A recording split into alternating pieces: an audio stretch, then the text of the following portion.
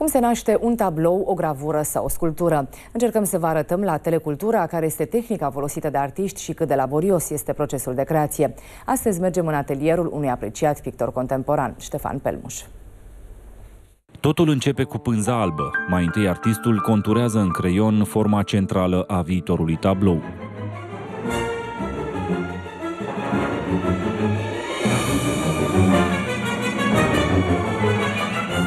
Urmează o etapă specifică multor lucrări ale lui Ștefan Pelmuș, aplicarea foiței de aur, o tehnică născută în fresca bisericească, foarte populară în renaștere. Pe atunci, substanțele erau obținute după rețete păzite strașnic de bresle. Astăzi, toate se pot cumpăra din magazinele specializate. Artistul pregătește conturul de poleit cu substanțe adezive și aplică foița.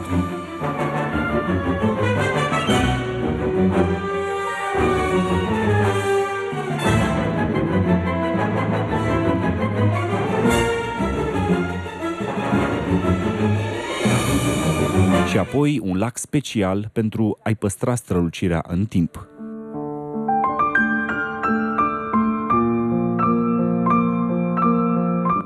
Acum pictorul decide culorile de fond ale pânzei. Folosește culori acrilice pentru că au o întindere uniformă și o strălucire aparte.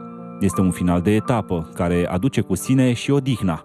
Pânza trebuie lăsată la uscat, iar noi trebuie să revenim a doua zi.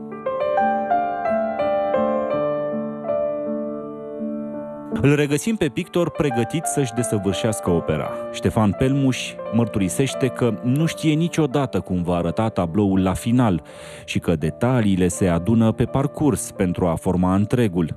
Artistul alege acum pensule rotunde cu perimoi și culori de ulei, așterne straturi subțiri, suprapuse și bine întinse, care, spune el, rezistă mai bine în timp își sprijină brațul pe sceptrul oricărui pictor. Se numește Meisterstück, dar artiștii între ei îi spun mai familiar maștoc. Acest băț susține mâna și permite mișcări controlate din încheietură pentru tușe fine și precise.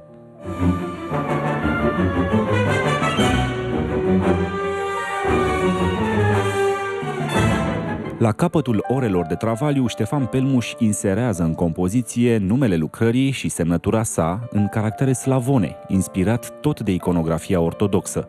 Apoi întoarce pânza pentru o semnătură pe înțelesul tuturor.